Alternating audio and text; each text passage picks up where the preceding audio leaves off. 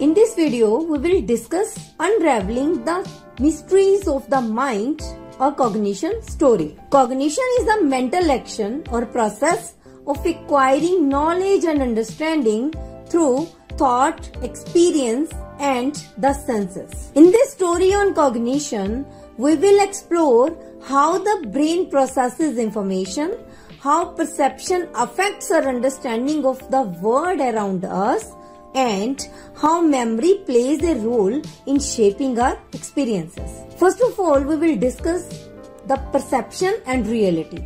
Perception is the process by which we interpret sensory information to make sense of the world around us.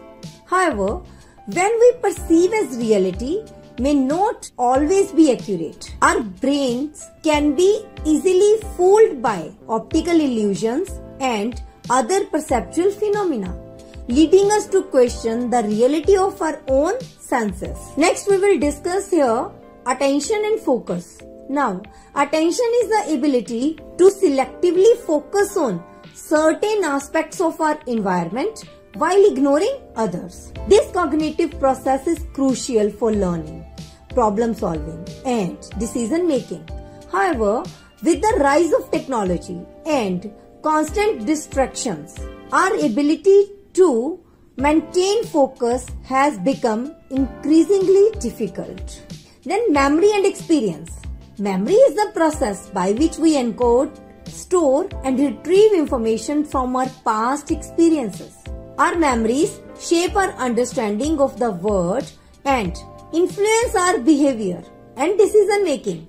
However, memory is not always reliable and cannot be influenced by various factors such as emotions and biases.